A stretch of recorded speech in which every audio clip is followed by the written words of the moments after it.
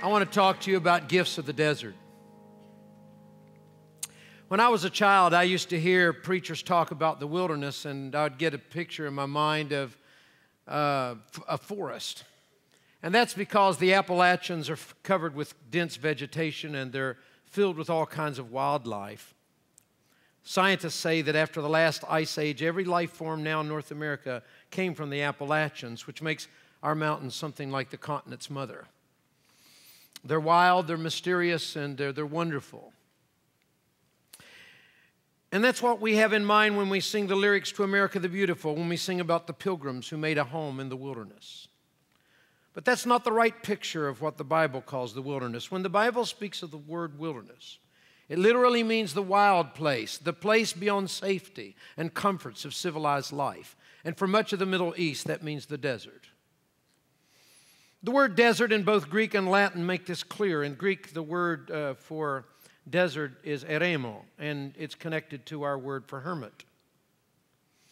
In Latin, the word is solitaribus, and it's, uh, that's connected to our word solitary. But the English word for desert also has this sense when we use it as a verb about someone deserting someone else. It means to leave them alone. So in the Bible, the desert is a wild place, it's a wilderness.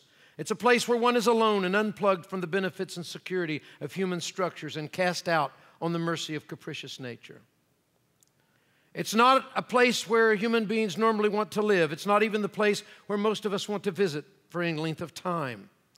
But just as our Appalachian wilderness rebirthed this continent, the Bible describes the wilderness as a place of personal and communal rebirth. It's a place of unmaking, but it's also a place of remaking, a place for clearing out old things and making room for new things. And so the prophet writes Behold, a voice is crying in the wilderness, Prepare ye the way of the Lord.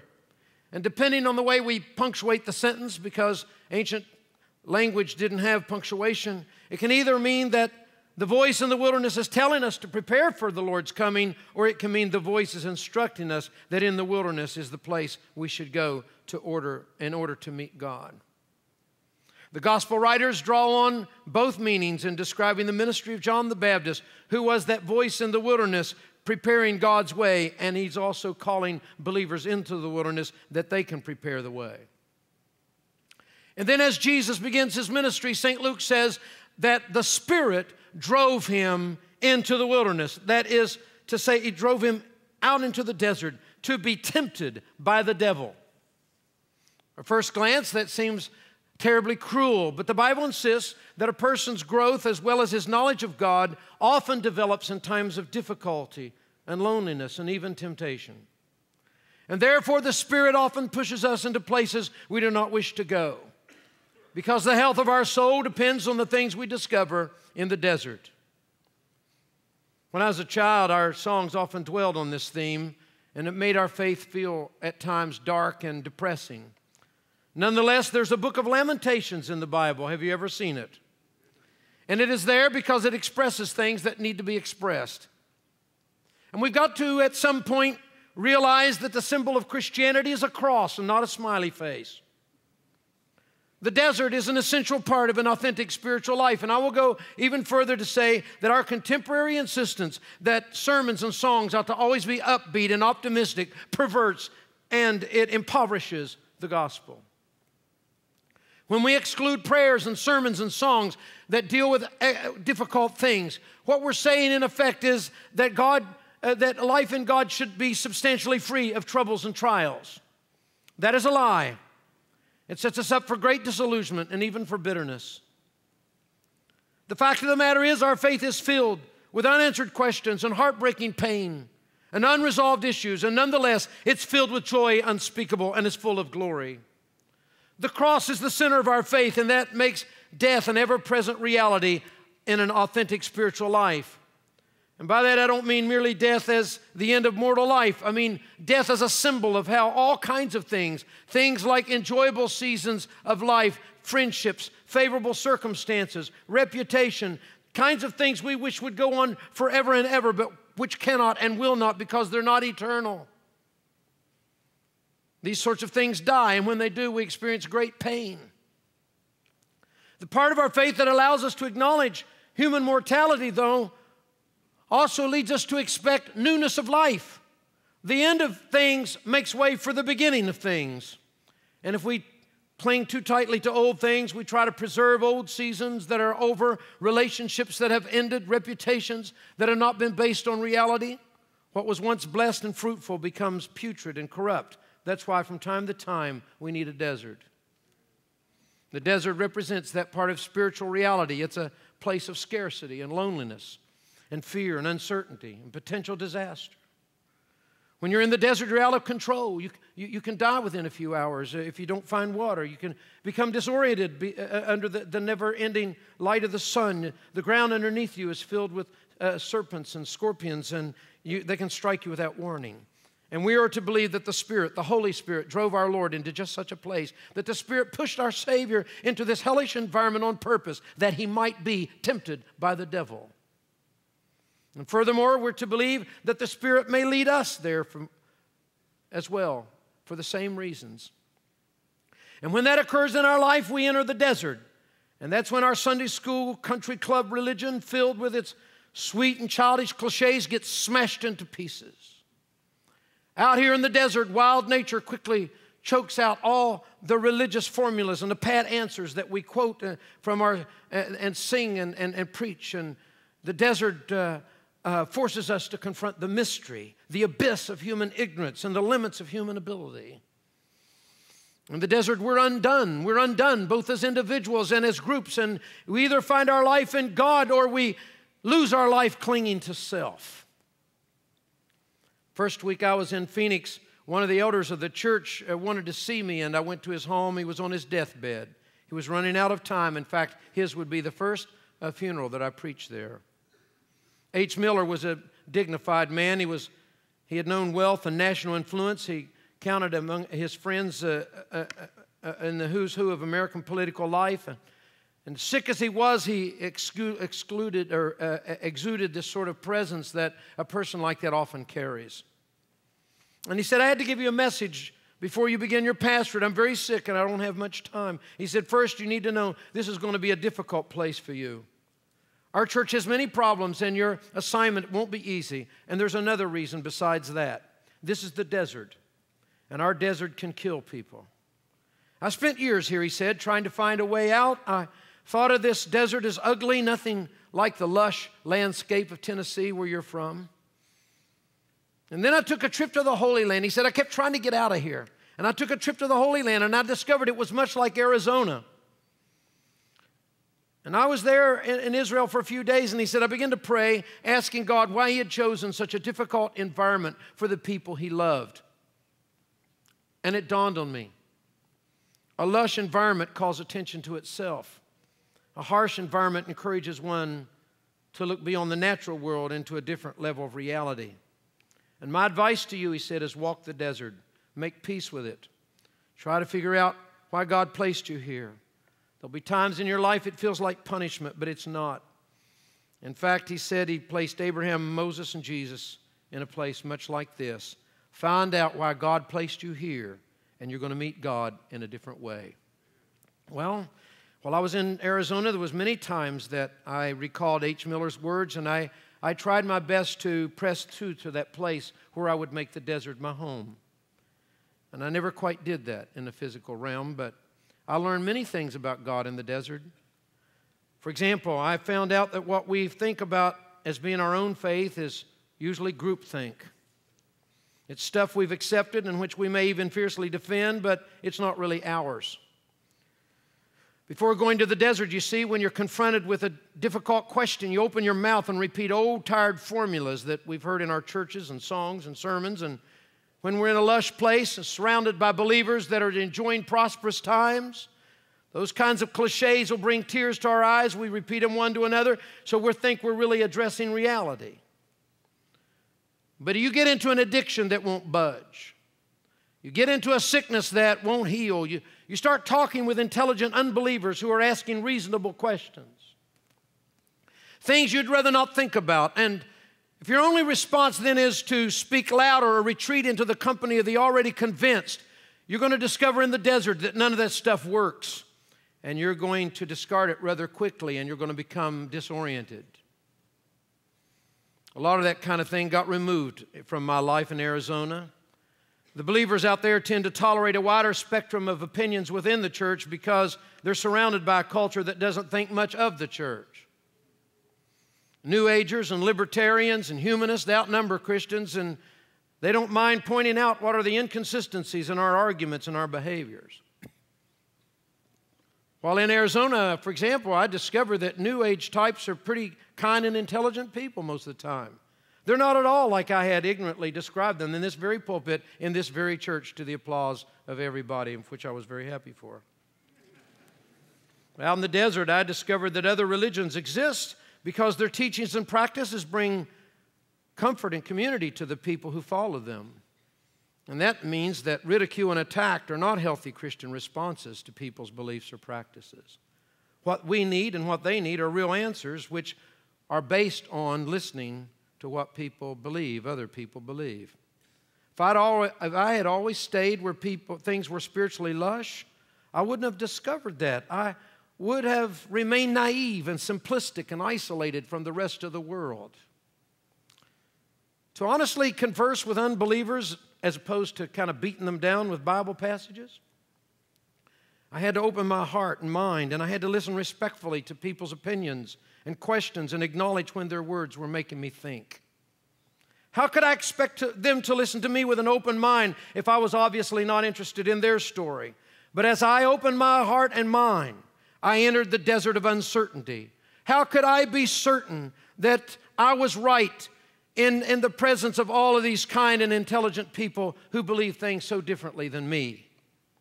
See, when one lives continually in the lush valley of unquestioned belief, he's content with his own level of knowledge and faith, and he eats of the fruit of the land, and he grows fat with self satisfaction because he's protected from other ways of looking at the world. If he meets an intelligent and a kind Buddhist, or an atheist for that matter, and especially if he's experienced pain from the hands of brutal Christians who are so certain of their own righteousness and correct doctrine, he will find himself dazed by the heat and the light of new knowledge, and he's walking without shade, and he can easily lose his way. That happened to me in Arizona. Can it really be God who purposefully leads a person into such a spiritually difficult place? Yes. The Spirit drove Jesus into the desert precisely in order to expose him to this kind of temptation, this kind of unraveling of the soul unraveling of one's security and sense of safety in the world. Dottie Rambo captures the reasons why God does this in one of her songs. When I'm low in spirit, I cry, Lord, lift me up. I want to go higher with thee. But he knows I can't live on a mountain, so he picks out a valley for me. He leads me beside the still waters, and somewhere in the valley below, he draws me aside to be tempted and tried. But in the valley, he restoreth my soul. God will lead us into places where it feels like we're coming apart. But He does it to remove the hindrances to learning new things and accepting new callings that we never will if we are in our uh, accustomed environment, in a custom place in life. Today's passage from Isaiah suggests that God leads not only individuals, but groups of individuals into the desert. Nations that have enjoyed wealth or power for long periods of time tend to feel entitled to those things and believe the wealth and power are signs of their special relationship with God. When the economy and power goes south, the folks that have enjoyed those things usually look to others to blame for their change of status. But what if the blame is to be placed on God Himself? What if it's God that purposefully leads a nation into the desert in order to restore its soul? And what about churches? When churches are full of people and money, we tend to believe those things that, that, the church is spiritually healthy. But is that true? In my experience, the money and the crowds soon become self justifying. And we will do anything, even ignore injustice and sin, in order to keep the noses and the nickels pouring in. Don't get me wrong, I prefer seasons of prosperity to seasons of trial. But can we be certain it's not God that leads a church into a desert place? And isn't in the desert place where our attention goes back on God? And don't we begin to get serious about our life and our faith and how we're treating others when difficulty finally destroys our ability to keep up our appearances? When we stop wishing we were back in the lush environment we once enjoyed, we may begin to notice the beauty of the desert. The desert flowers are brief and they're small, but they're stunningly beautiful. And once we get accustomed to it, we'll notice the desert actually teems with life. Listen, once you acknowledge your addiction, you will discover who your friends are. And once you talk about your spiritual struggles, the people who share your struggles will come forward to pray with you and to love you, and God will use your spiritual quest to liberate you from your false friends. You'll no longer have to keep up the facade to please people. You can become who you are. You can say what you really believe. You can be who you really are. You can practice your faith the way you wish because the desert has stripped away your fear of others. And, you, and, and the desert will teach you to survive if you must with all the trappings, without all the trappings and amenities of a lush life. After the desert, you will prefer freedom to bondage, even if your freedom requires simplicity of life and a smaller circle of friends. You'll quit managing everything to keep everybody away so they won't know what you're really about, what you're really struggling about and all that kind of stuff. You'll give all that up after the desert because you don't care anymore. It's a great place to be. It's called freedom. It's a song today that Sean said, sang says, Tell me, how do you handle the guilt of your past? How do you deal with the shame? How can you smile when your heart is broken and filled with pain? And tell me, what do you give when you've given your all and it seems like you can't make it through? And then he answers, You must stand. When there's nothing left to do, you stand, you don't give up through the storm, through the rain, through the hurt, through the pain. Don't bow, don't bend. Hold on, be strong. God will step in and it won't be long. After you've done all you can, after you've gone through all the hurt, after you've gone through all the pain, you've gone through the storm and you've gone through the rain, prayed and cried and prayed and cried and prayed and cried and prayed and cried. After you've done all you know to do, you just stand.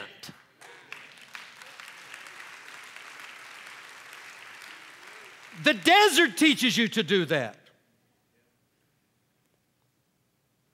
The desert teaches you that most of the things you fear are not nearly as bad.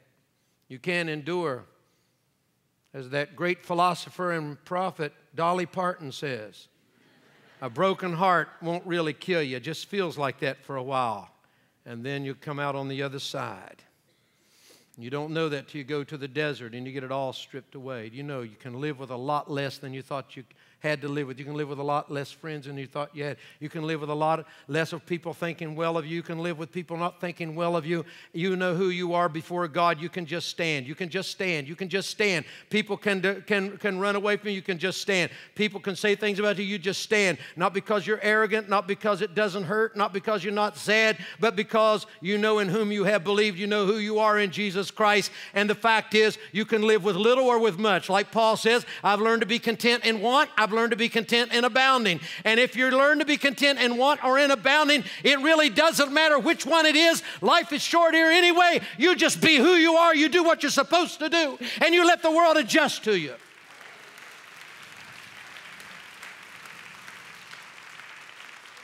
Thanks.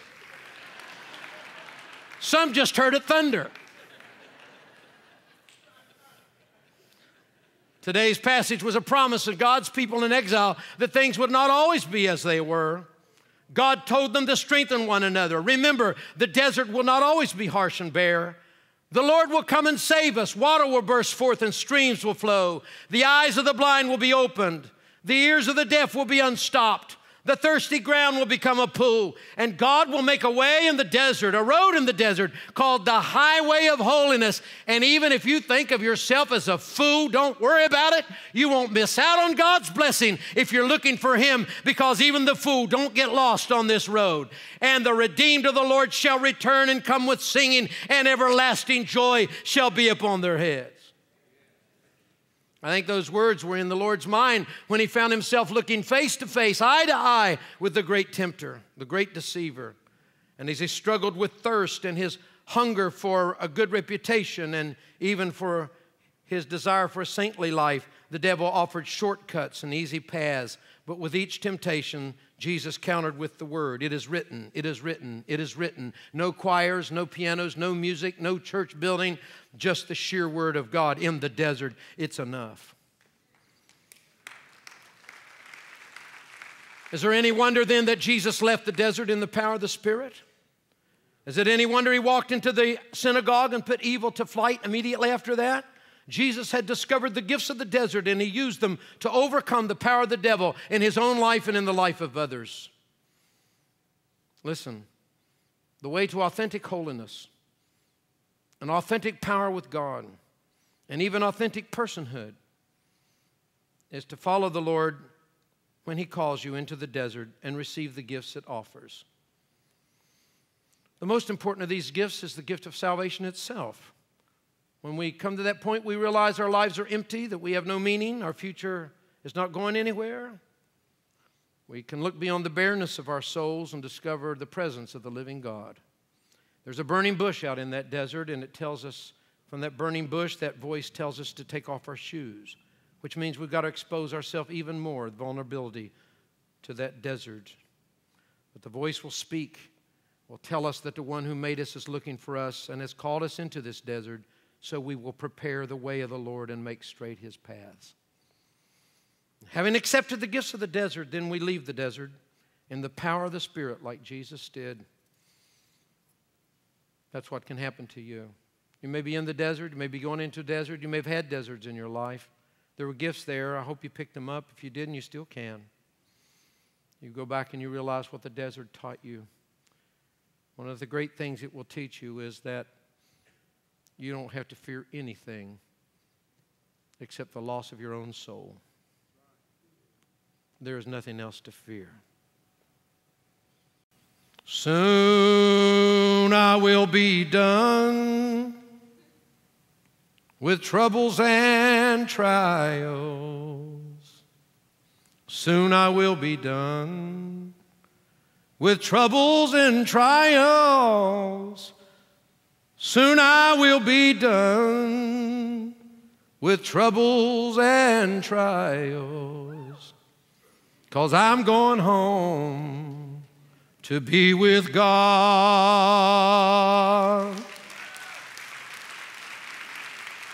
So no more weeping and wailing, no more weeping and wailing, no more weeping and wailing. I'm going home to be with God. I said, no more weeping and wailing, no more weeping and wailing no more. Weeping and wailing, we're going home to be with God. Soon we're gonna be done with troubles and trials. Soon we're gonna be done with troubles and trials.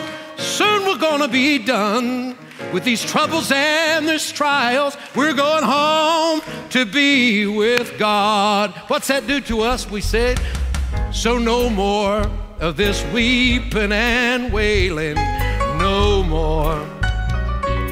Weeping and wailing, now no more. Weeping and wailing, we're going home to be with God. Anybody need strengthened right now? You're on your path and you're in the middle of the desert and you'd like a God to touch you and lift you up and give you some springs in the desert. Why don't you come down here and join me right now? No more. Weep. Weeping and wailing, no more. Weeping and wailing. We're going home to be with God. Soon I No, will be be done with the troubles of this world. The trouble of this world. Troubles of this world. Soon I will be done with the trouble of this world. Going home to live with God. I wonder if some of you just come and stand behind them right now. Weeping and wailing.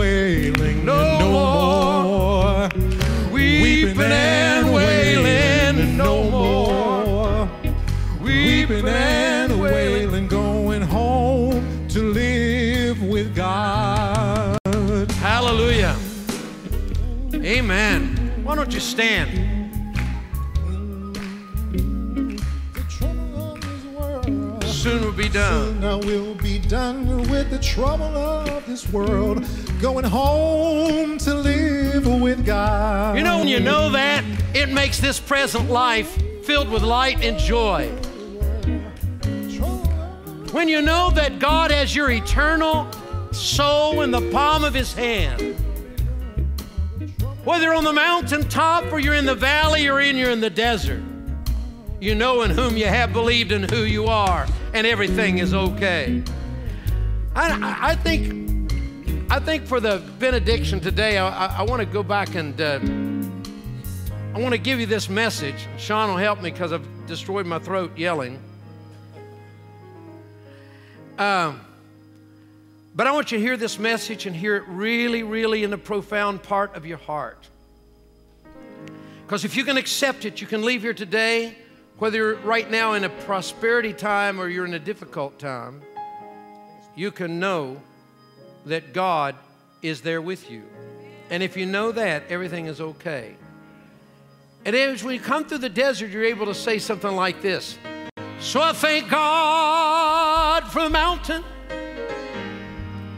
and I thank Him for the valley, and I thank Him for the trials He brought me through. For if I never had a problem, I'd never learn how God could solve them. And I'd never know what faith in His Word can do.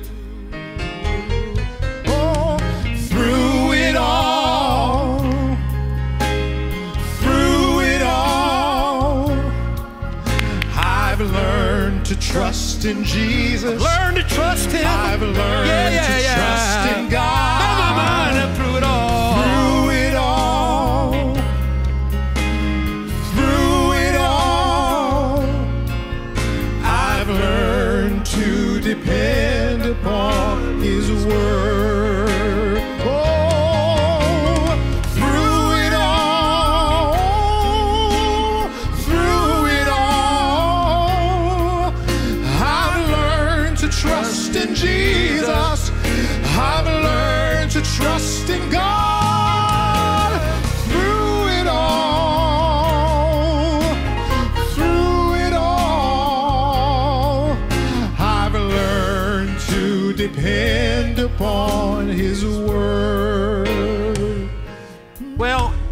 Time to go, so you can go out there and drive through the storm. Be careful when you drive. Come back tonight, 6 o'clock. Those of you interested in work and community stuff, these are wonderful, blessed meetings. We meet in Carson Hall over here. But I think I want to sing the verse one more time so you really hear it in your ears. I, I want to. I, I want to be like the advertisers and get something that you can't get out of your head that just makes you mad all through the week because it just like sticks in there and it won't get out. I thank God for the mountain. I've been there. And I thank Him for the valley. And I got to thank Him for all the storms that He brought me through. If I'd never had those problems, I would have never learned how God can solve them. And I never know, never know, never know, never know what faith in God's Word can do. Why I'm saying, Through it all, through it all, I've learned to trust in Jesus. I've learned to trust in God.